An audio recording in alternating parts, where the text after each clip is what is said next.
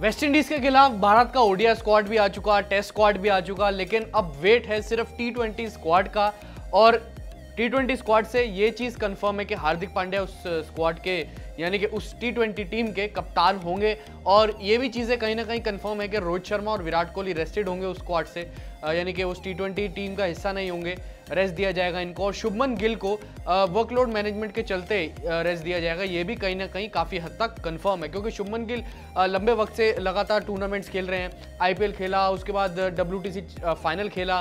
फिर उसके बाद वनडे स्क्वाड का भी हिस्सा है टेस्ट स्क्वाड का भी हिस्सा है वेस्ट इंडीज़ के खिलाफ। तो काफ़ी हद तक वो लगातार क्रिकेट खेल रहे हैं और काफ़ी बिज़ी रहते हैं। क्रिकेटिंग शेड्यूल काफ़ी बिज़ी है उनका तो इस वजह से उनको रेस्ट दिया जाएगा वर्कलोड मैनेजमेंट के चलते। लेकिन किन को मौका मिलेगा? टी ट्वेंटी स्क्वाड में वेस्ट इंडीज़ के खिलाफ किन खिलाड़ियों को मौका मिलेगा? क्या आईपीएल 2023 में जिनका प्रदर्शन बढ़िया रहा, उनको एक चांस दिया जाएगा टेस्ट करने के तौर पे, यानी कि उनको टेस्ट किया जाएगा? लेकिन बीसीसीआई का जो कहना है, यानी कि बीसीसीआई के अधिकारियों का या उनके मैनेजमेंट का जो कहना है, इस मामले में कि किस तरीके का स्क्वाड घोषित होगा, उन्होंने साफ़ तौर पर बताया या कह सकते हैं ये बड़ी अपडेट है स्क्वाड के मामले में कि अगले हफ़्ते हो सकता है टी ट्वेंटी स्क्वाड का ऐलान। अगर चीफ सिलेक्टर जो है, उनको चुनने में कोई जो प्रोसेस है, वो देरी लगती है, लंबा हो जाता है प्रोसेस तो हो सकता है कि अगले हफ़्ते ही T twenty international versus West Indies का स्क्वाड आ जाए भारतीय टीम का। कप्तान तो हार्दिक पांड्या ही होंगे।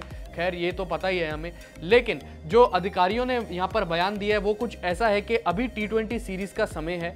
तो ये महत्वपूर्ण है कि हम इस सीरीज़ के लिए सही टैलेंटेड खिलाड़ियों को चुने। ये कई युवा खिलाड़ियों के लिए टेस्ट के तौर पर होगा और इसके लिए चीफ सिलेक्टर के इनपुट की काफ़ी ज़रूरत है।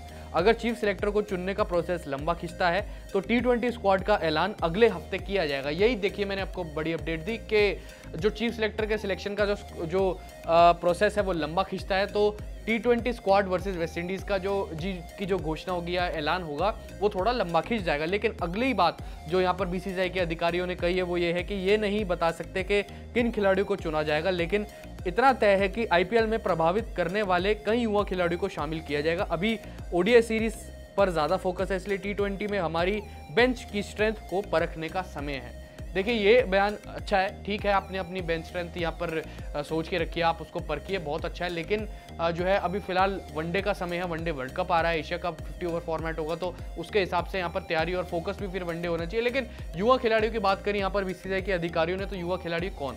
रिंकू सिंह पर नज़रें हैं, और रिंकू सिंह की यहाँ पर तस्वीर भी आई थी टीम इंडिया की, जो आइडाज वाली प्रैक्टिस जर्सी थी, उसमें जिम सेशन भी कर रहे थे वो।